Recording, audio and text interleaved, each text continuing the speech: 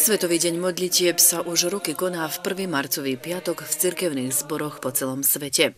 Cieľom je združovať ženy rôznych rás, kultúr a tradícií, rozširovať ich povedomie o iných krajinách a kultúrach, sympatizovať problémami iných krajín a kultúr a modliť sa s nimi a pre ne. Každý rok prvý piatok mesiaci e, sa stretáme k tomuto večeru a pripravujeme sa na tento večer najprv piesňami, ktoré sa učíme spievať, teda dostaneme skorej mesiac materiál, potom spevokolí ženský zmiešaní sa učia piesne spievať.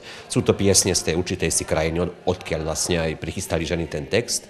A potom povoláme mami konfirmantov, ktoré čítajú texty, e, ktoré sú v, e, v tej brošúrke. Tohto roku sú to vlastne mami detí narodených roku 2006 a máme konkrétne 13 mám tohto roku.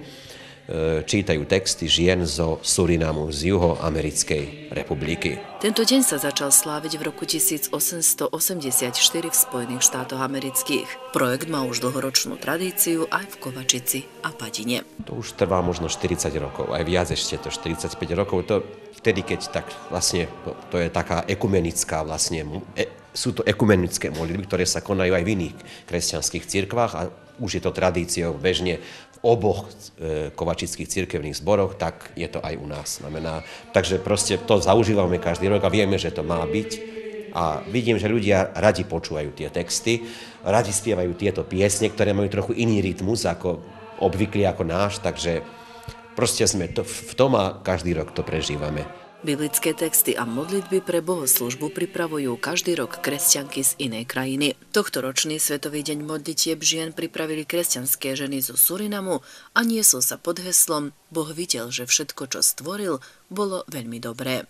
Dnešná téma je Pán Boh všetko, čo stvoril, videl, že je dobré. Teda Pán Boh celý tento svet stvoril s úmyslom.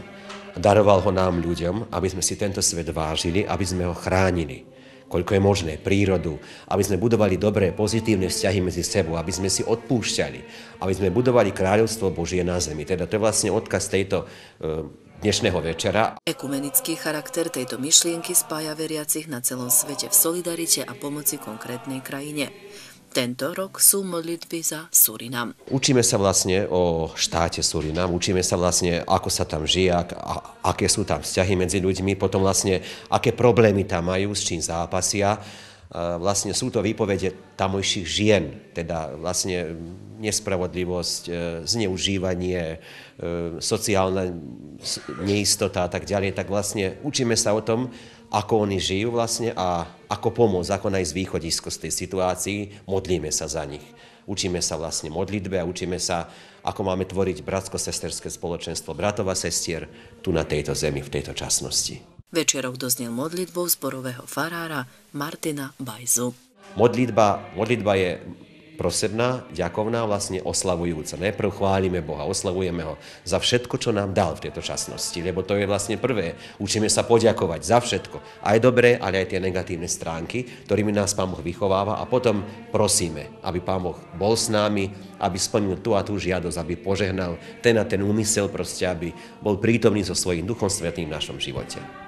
Ak sa nemýlim, e, v Lani, vlastne po tie roky sa na, e, v rámci tohto Svetového dňa modlitieb e, zbierali aj finančné prostriedky, ktoré potom boli poskytnuté niekomu do pomoci? Áno, áno, tak aj tohto roku to bude a ofera potom je odovzdaná na biskupský úrad a odtiaľ potom bude presunutá na Slovensko k patričným úradom a ďalej potom do tej republiky Surinam, odkiaľ to ide.